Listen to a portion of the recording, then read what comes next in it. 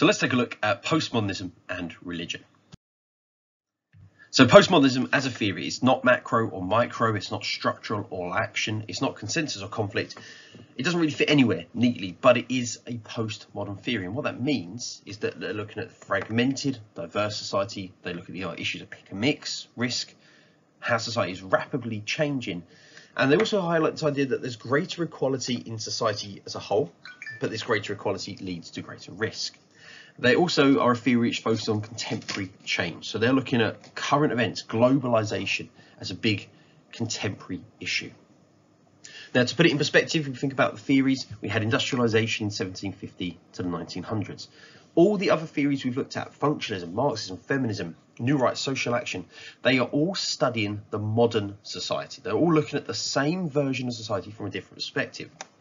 Postmodernism is looking at a different society, it's looking at postmodern society, and therefore it sets it aside from some of the more modern theories we've already studied. Now, what this means when it comes to their views of religion is that in a postmodern era, there are going to be changes that have taken place, and particularly religion, and the way we believe and practice religion has changed. So they highlight that religion is more diverse, there's more pluralism, there's an increase in the variety of religions and traditional religions have hit a decline. We're no longer seeing religion as necessarily the only source of social solidarity. Because there's such a diversity of beliefs, we can question whether it would still provide social solidarity. They talk about the idea of pick and mix. Individuals can pick and mix beliefs and practices from a range of religions, combine them into something new and suits their needs. They talk about how religion is based on more consumerism. So there's this commodity idea of religion and they will talk about the spiritual shopper and they talk about how religion has been relocated. Religion has moved out of the churches and into more public settings like online media or literally in public gathering areas. Now, Hervieu-Léger highlights that religious participation has changed in the post-modern era. It's less about the traditional definitions of religion and it's more about belief and individual choice as, opposed to traditional uh, socialization and identity formation. So argues that religion is a personal choice rather than inherited or fixed to our identity. But she introduces the idea of spiritual shoppers. So the idea that we are consumers, we pick and mix, we go around, we buy into religions, we choose beliefs and practices that meet our needs, that fit our identity, that fit our lifestyle. And therefore, religion no longer acts as a source of collective identity because we are all using religious identities. We're all using religions for our own identity in different ways, in different bits.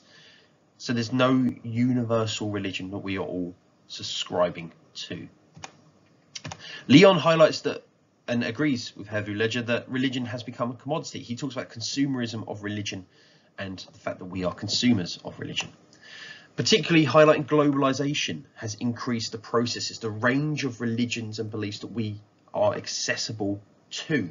The, the kind of rough suggestion that there are about 4,300 different belief systems or religions in the world globally. We have greater access to a wider variety of religions. Lyon also argued that religion has become disembedded from real life. It's not fixed in a local church or a physical place. Religion has moved online via the internet. It's spreading. So religion is disembedded. It's disengaged from those physical locations like a church and it's more accessible everywhere through different means. One example, this is the religious experience has changed. So, for example, um, the Harvest Day Crusade within Christian faiths taking place in Disneyland. So again, religion moving and displacing itself becoming disembedded from its kind of physical structures and more mobile. And then last but not least, we have Bauman. Now, Bauman argued that postmodernity has led to a crisis in meaning. There's no longer a sense of morality, stability, right or wrong, or universal truth. This is due to increased diversity, fragmentation of beliefs, and ultimately, as I say, we've looked at earlier, a decline in that traditional universal sense of, of religion and value. Therefore, this creates a crisis in meaning. People don't know how to live their lives. There's no set or or kind of fixed set of ideas and values. There's so much diversity in religion with all different competing values. It causes this crisis. And we also see religion and religious leaders as being the experts in their field, but because there's so many different religious leaders and so many moral guides, it creates a level of uncertainty, confusion, and this crisis of meaning.